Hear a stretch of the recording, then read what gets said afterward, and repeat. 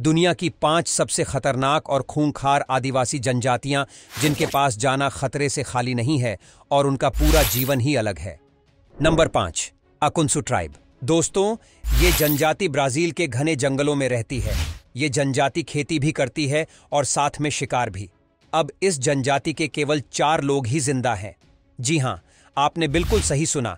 दरअसल इनकी जनजाति में कई लोग थे, लेकिन फिर कुछ व्यापारियों के झुंड ने इन पर हमला किया था, जिसमें इनके सात लोग को मार दिया गया। बाहरी लोग यहाँ पर रास्ता बनाना चाहते थे, लेकिन ये अपने घर को टूटते नहीं देख सकते थे और बस सात लोग बचे थे। लेकिन उन सात में से भी तीन की मौत हो गई और अब बस चार लोग बचे। ये चार लोग अपना ख्याल रखते और खुद ही अपने खाने का इंतज़ाम भी करते हैं। ये चारों शिकार करने में बहुत ही ज़्यादा माहिर हैं, क्योंकि जंगल में सरवाइव करने के लिए ताकतवर होना भी ज़रूरी है। इसलिए ये किसी और से मिलना पसंद नहीं करते। इन्होंने आज तक बस एक ही बार अपने बारे में बताया। उसके बाद इन्होंने इंसानों से बात ही नहीं की। नंबर चार, दसलाला ट्राइब। दोस्तों, इस जनजाति के बारे में भी लोगों को ज़्यादा जानकारी नहीं दी, लेकिन एक व्यक्ति था जो इनका दोस्त बना और फिर उसी ने सबको बताया कि कैसे रहते हैं और कैसे जीते। इस वक्त इनकी आबादी 300 के करीब है। आज तक एक ही व्यक्ति है, जो इनसे बात कर पाया है, बाकी सबसे ये ज़्यादा अच्छे से बात नहीं करते।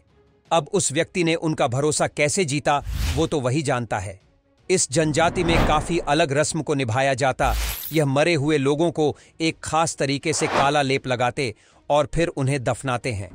इसके चलते उनका शरीर कई सालों बाद भी अच्छी हालत में रहता है। नंबर तीन, शॉनी पीपल। यह आदिवासी समुदाय अमेरिका में रहने वाला है, लेकिन आज के वक्त ये लोग अमेरिका से हटकर पेंसिल्वेनिया के इलाकों में रहते हैं। इस समुदाय में लोग अपने नेतृत्वकर्ता को चुनने के लिए उसकी लड़ाई करने के स्किल और तीरंदाजी के तरीकों को देखते हैं। आपको जानकर हैरानी होगी कि आदिवासी तरीके से रहने वाले लोगों के पास युद्ध के बहुत ही खतरनाक तरीके होते हैं। जब ब्रिटिश लोगों ने इसके ज़मीन को हथियाना चाहता तो इस आदिवासी समुदाय ने ब्रिटिश सैनिकों को बहुत बुरे तरीके से हराया था। नंबर दो सेंटेनली ट्राइब। दोस्तों, भारत के अंडमान द्वीप समूह में निवास करने वाली यह जनजाति काफ़ी खतरनाक है। इसका अंदाज़ा इस बात से लगाया जा सकता है कि इस जनजाति के लोगों का रहन सहन खान पान और रीति रिवाज आदि से जुड़ी कोई भी जानकारी हमारे पास उपलब्ध नहीं है, क्योंकि जो कोई भी सेंटिनल आइलैंड के करीब गया तो उसे इस जनजाति के लोगों ने मौत के घाट उतार दिया। भारत सरकार ने भी इसे प्रतिबंधित कर रखा है। इस जनजाति ने आधुनिक सभ्यता को पूरी तरह नकार दिया है। वहाँ के लोग पूरी तरह से जंगली शिकार और फौलाद की तरह अपना जीवन व्यतीत करते हैं। नंबर एक, असारो मडमैन अब हम आपको जिस आदिवासी समुदाय के बारे में बताने जा रहे हैं, ये दुनिया के सबसे खतरनाक दिखने वाले आदिवासियों में से एक है, जो पापुआ न्यू गिनी के जंगली इलाकों में रहते हैं। इन्हें मिट्टी से लिपटा हुआ इंसान के रूप में भी देखा जाता है। दरअसल, ये जब भी अपने शिकार पर निकलते हैं या फिर कभी जंग पर निकलते हैं तो अपने पूरे शरीर और चेहरे पर मिट्टी लपेट लेते हैं।